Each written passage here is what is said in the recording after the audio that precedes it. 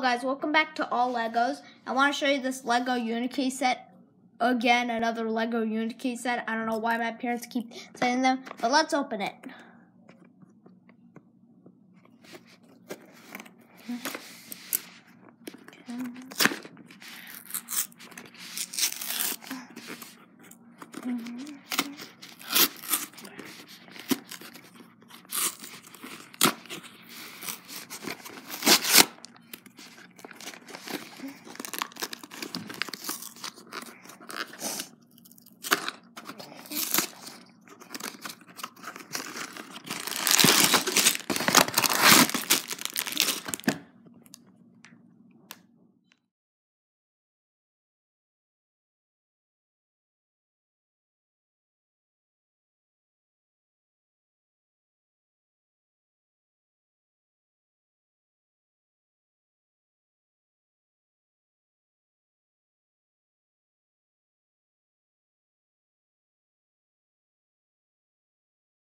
Hey guys, thanks for watching. I hope you enjoy it. Don't forget to subscribe.